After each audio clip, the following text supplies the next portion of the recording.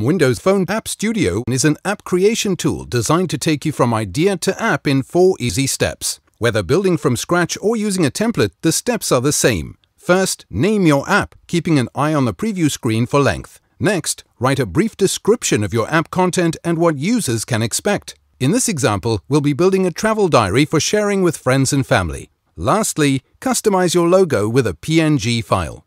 First, let's edit an existing data source. Here we are adding new text to an HTML section. You can easily preview sections in the phone at right anytime with just a click on the eye. This is very handy when you're modifying a template. Next, click here to add a section by selecting a data source. Type the name of your new section, which will be viewable to your users.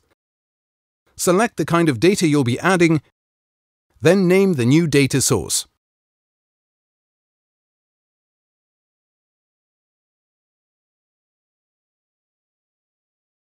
Click on the icon to add content or to edit content in a data source. For this example, let's add a new photo and text for a photo gallery. We've already written our paragraph and sized our photo to 715 by 715 pixels, making this step a snap.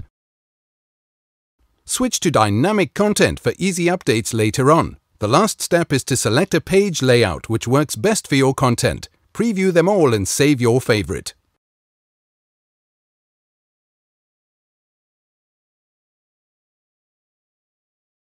Polish off your app by selecting a background, text and bar color. Next, select and style how the tiles for your app will appear when pinned to the user's start screen.